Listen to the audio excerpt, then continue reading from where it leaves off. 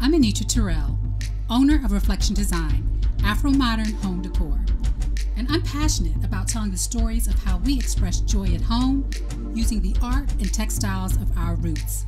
So join me as I take a closer look at the lives and homes of men and women across the African diaspora. This is how we live.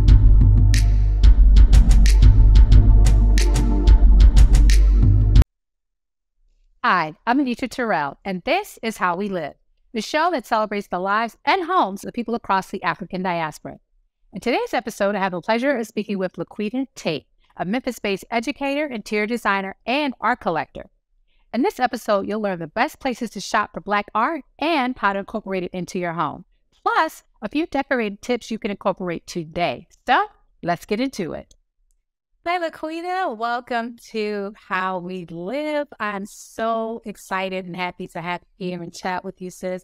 We have been, uh, what do they call it, Insta sister friends for the longest time, uh, following each other, supporting each other, sharing each other's work. And so finally be able to almost bring your blog feature to life uh, from reflektiondesign.com's blog to now here on YouTube is exciting. So thank you for being here with me. Thank you so much for inviting me. I truly appreciate it. And so, first off, we have to tell us, uh, tell us a little bit about yourself and about your home. Oh, wow. So, me, I'm a wife, I'm a mother of two grown children. One's 27, one is just turned 29. I'm an educator up until January the 2nd. I was an elementary school principal. Now I'm a director with a different district. Um, I'm an interior designer, so I'm juggling being an educator as well as juggling being an interior designer. And I've October, I think next next couple of weeks, I'll be coming up on three years as an interior designer. And so, uh, my home, we've lived in this home probably uh, over 15 years now. Raised our family here, and they're grown and gone. Like I said, they're grown. Um, my husband and I've been together since I was 15, so I think now it's 30 years. We've been together, married 25.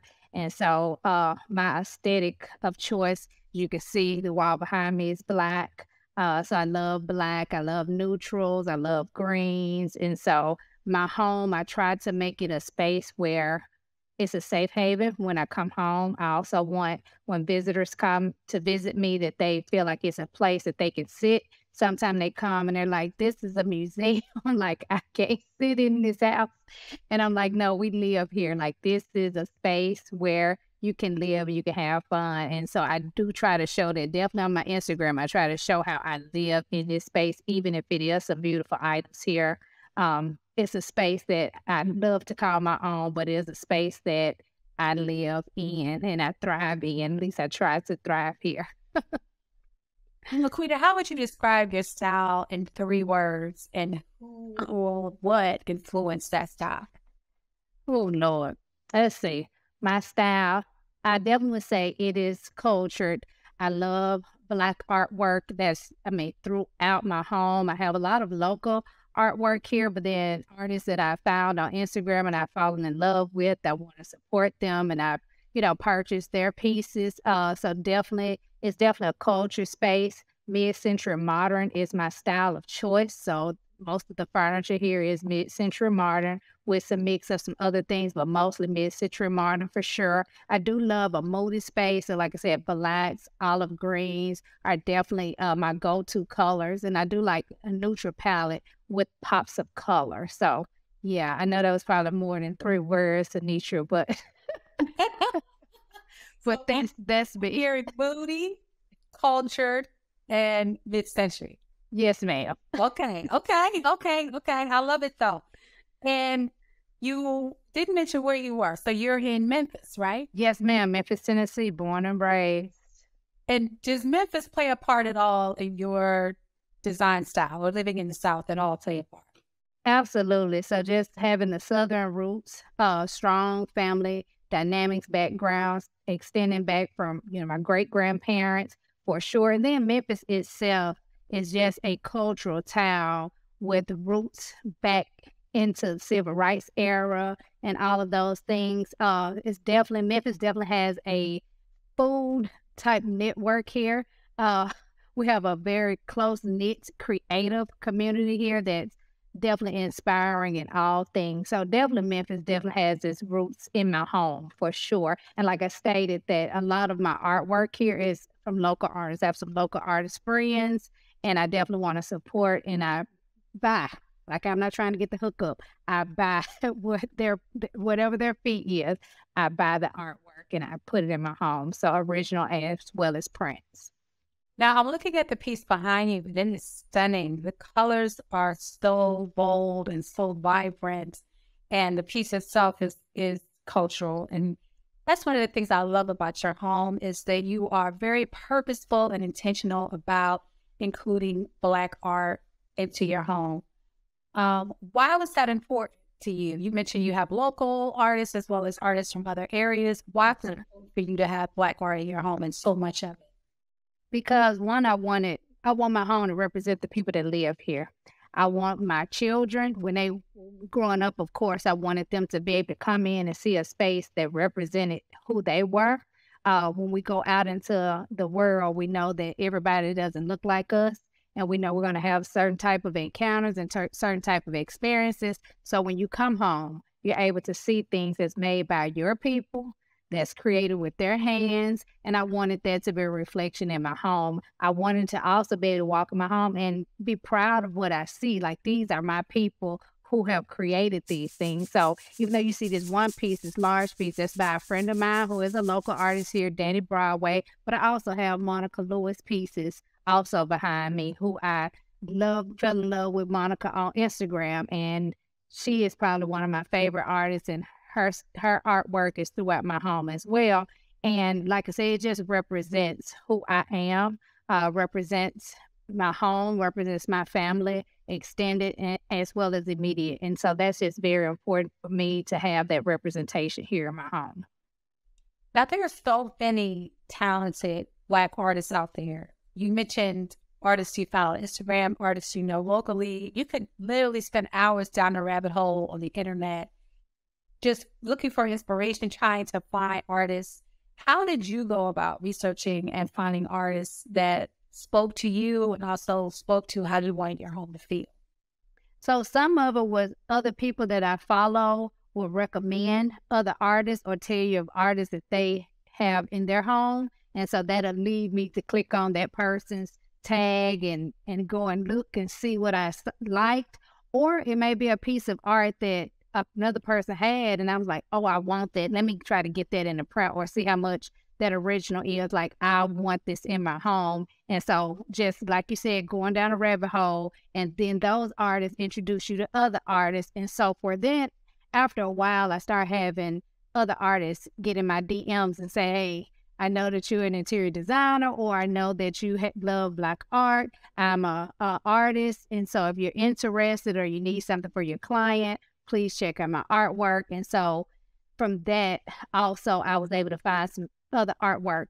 I have a, a close friend, one of my best friends. She used to be married to an artist. So going to art shows was definitely one of our things. And her ex husband is friends with the one who who did this artwork here. Danny Broadway, they were good friends. And then Dan and I went to the University of Memphis together. And so just through those connections and learning about art and going to those art shows and then doing Black History Month at the University of Memphis. We always had a Black artist that did our posters. And so I learned about different artists at that time as well. And so it's just, you know, it just represents me and it just makes me feel good that I have these pieces in. And I'm like, I don't have room for any more, but, you know, I'm on the lookout for some more artwork. I was like, now it's time to just kind of switch it up and change it around because it's just other pieces that I, lo- I love. And so you have a lot of pieces. And I remember when I revisited your blog post, um, I'll link uh, the original home tour of Laquita's home down below. But when I revisited her, I was looking through all the photos and thinking, man, every from your office to your bedroom to the even to the kitchen, which is one of those places that people may may or may not think to really go go all in in terms of art.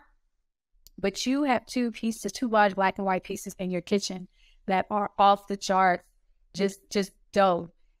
It was hard for me to choose a favorite, but those two are they're, they're at the top of my list. My question is do you have a favorite piece of art in your home and who and who's it by?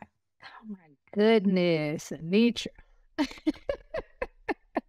so I do, and in the pieces you're talking about is about an artist by the name Gee Horton. So I have those two black and whites from him, and then I have another one up in my guest room by the same artist, black and white, but it's of a black boy with gold teeth. I absolutely love it. Like when you walk in their room, it's like I absolutely love it. But one of my favorite pieces, like really, I love every, every piece in my home. Um, but one piece by Christina Martinez. She goes by the name of Soul Trio on Instagram, and that piece, one of my besties, Alvin Wayne, another interior designer, purchased for me for Christmas and uh, Christmas on my birthday last year, and I absolutely love that piece. And I actually have it in my. Um, we have a open floor plan with the kitchen, a hearth room, and a breakfast area. So it's in there in an acrylic frame so you can see all of the details. So that's one of my favorites. Now, when we hear the term art collector or someone who collects art, it sound can sound in, intimidating. It can sound expensive too. um, what would your advice be to someone who wants to get into collecting black art, but may not have a big budget to, to start? Yeah, so for that person, I definitely would say go to visit your your fairs, your art fairs. A lot of times, the art fairs will have artwork, prints, and originals that are reasonable and within budget. Start small. You don't have to go out and purchase a big piece like I have behind me. You can start very small, even postcards with. So sometimes you go to art show and the artist there will have a postcard talking about the artwork I had in my kitchen, you talked about you typically don't see artwork in the kitchen. From an art show that I went to, I have the postcard in a frame. That's artwork. So you don't have to go and spend a whole lot of money to get started. You don't ever have to spend a whole lot of money to get art. You just have to be wise about your choices. So go to a fair, start there. You can also, local artists, a lot of times, especially starting out, the artwork is very reasonable, very reasonable. And so purchase from them. Purchase your piece. Prints, of course, are more reasonable price than original. Or I'm not gonna say that an original is not reasonable price. It's re- it's the price that it is, so it's reasonable. But a print is gonna be a little less than an original piece. And so get some prints until you can save up and get you an original piece and then just collect over time. You don't have to go out and try to get a hundred pieces to fill your house in one walk. So do that over time, and it can take years. This took years to collect this artwork. And I notice, you know, people often think, well, I, I want to get art, but, you know, what do I do with the walls themselves? And you, I've noticed again behind you, have this rich, deep black color. Some people are like, yes, I'm I'm there for it. Other people are like, oh, I don't know if I can paint my walls black. Um, when bringing art into your home, how can you, what's, what's some of the other ways you, you can, I guess, prepare the walls or prepare the room itself for the art that you're going to introduce into it?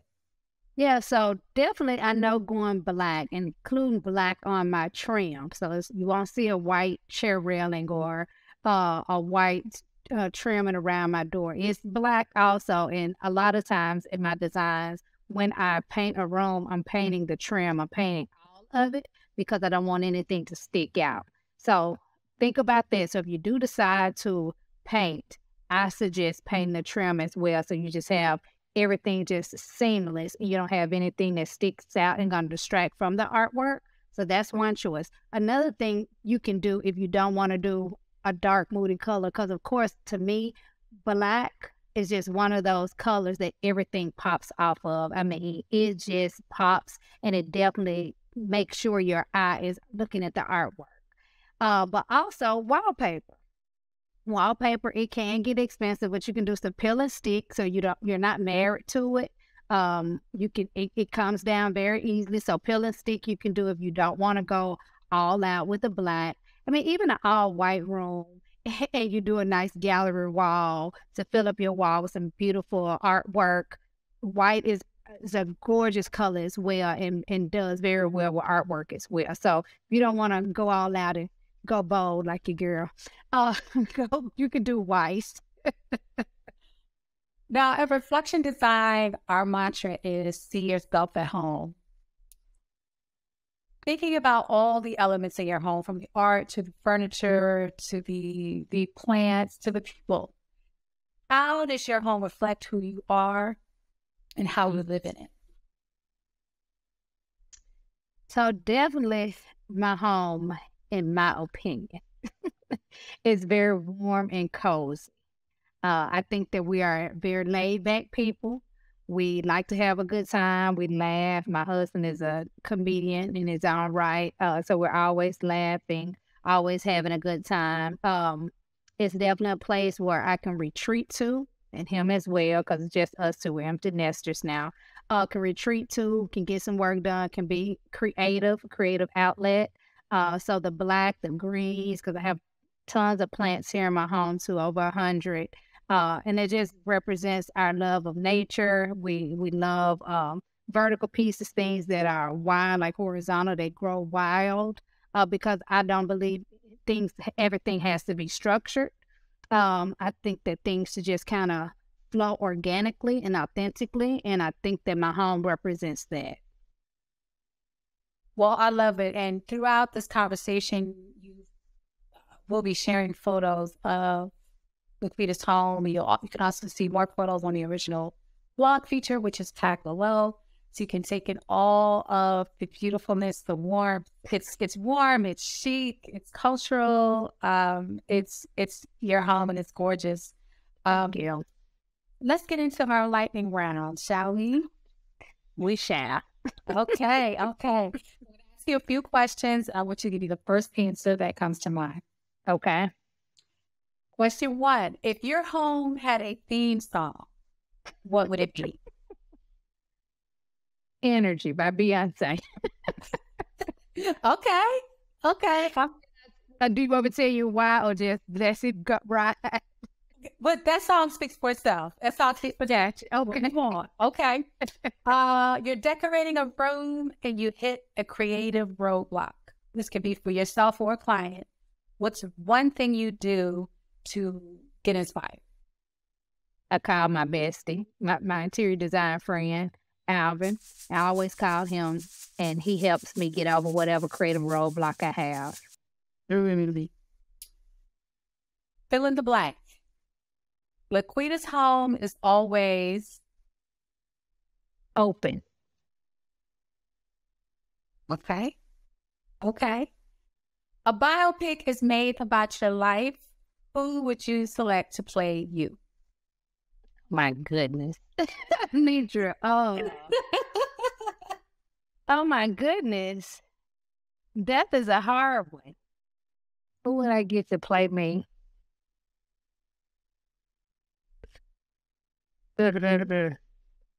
Now I could say pl- people like Viola Davis, but that doesn't even. I'm, and it's because she comes to mind with the Woman is King movie uh, that we're gonna go see today. Uh, so she comes to mind because she's a powerhouse, and I definitely um, look to, look at her as inspiration for just the possibilities that are endless in this world. She is. That's that's a great choice. Love her. Um, yes. When traveling, whether domestically or abroad, what's the one thing you always bring back? Oh, a shot glass. okay, LaQueen. Well, and it's not because I, I drink a lot. It's because it has, but just because it has the name of typically where you're at, and so I just collect them. If you grown, if you like to clean your shot glasses back, you you grown. You like to be nester now. Hey, you don't have to explain to us. Shot glasses. Yes, ma'am. Yes, ma'am. Received. uh, what is one design book that you would recommend for us? A design book. Oh, the one uh Brown Bohemian. One. Love them, love them, love them, love them. That's a good one. And their mm-hmm. their aesthetic is it's interesting you you chose that one because their aesthetic is it's almost at the other end of the spectrum. There are there are a lot of neutrals and tans and Yes, so texture. So that yes, I now I layer a lot. I do a lot of texture, and they are te- I like I love a lot of their stuff is just like the same color palette, like it's all neutral, but it's it, they play up with the texture and the different types of browns and creams, and I mean it's it's beautiful, beautiful work. And if you ever come to Atlanta, uh, of course you have to let me know. Yes, I'm But also, but also they have a store here in In uh, Ponce City City. Market. Mhm. Wow, I'm ready to go check it out. Yes, I'm coming soon. Seriously, I mean that's but five and a half hours away. So I'm to visit. I'm Okay. coming to visit you and Amber. I'm Now let me see some pictures of you on the gram kicking it. Hand in the bag. I'm like, oh wow, she was here. Asking I, I wouldn't do you like this. I'm coming to see you, Nitra. uh, where can we find you online? so Instagram at Quita Tate, Q U I T A T A T E. I also have a blog and a website, which is just www.laquitatate.com. Thank you so much, Laquita. Is as always, it's so nice to talk to you and see you. Your energy is always supportive and positive and just fun, which I appreciate and genuine. Let me not forget that. And mm-hmm. genuine. So I Thank you appreciate so much, Anitra.